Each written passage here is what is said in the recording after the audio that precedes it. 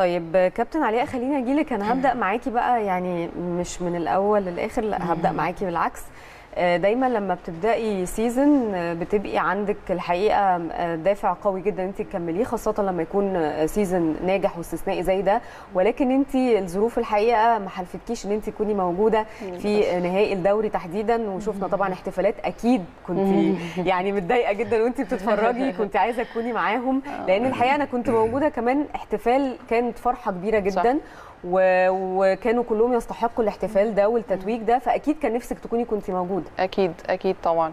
هو زي ما حضرتك قلتي ما حالفنيش الحظ بس هو الموضوع جه بقى ربنا قسمه كده. أنا كان جالي دعوة يعني إن أنا أسافر رواندا تبع ال BAL. في حاجة اسمها BAL for Her كانوا كان في منتخب تحت 23 جايبين مدربات من أفريقيا و وعاملين وجايبين 21 بنت من 11 دولة مختلفة. ف...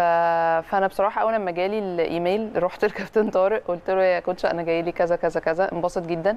قال لي دي حاجة كويسة جدا ليكي وهنتكلم مع الناس في النادي. كان لسه ما فيش تاريخ وكان لسه ما فيش تاريخ إمتى ال finals بتاعتنا.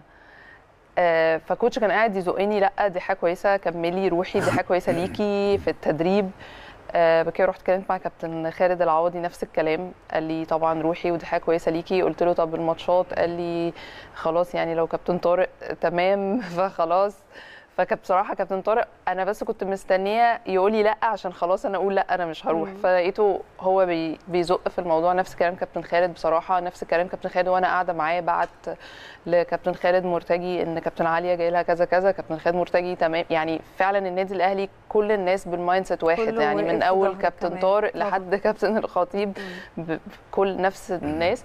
فاللي حصل بقى للأسف الشديد إنه الوقت جه بالظبط مع ال best أول ثلاث ماتشات. يعني أنا لو كنا هنلعب game four لا قدر الله أنا كنت هكون موجودة بس أنا قلت لهم أنا مش عايزة أكون موجودة.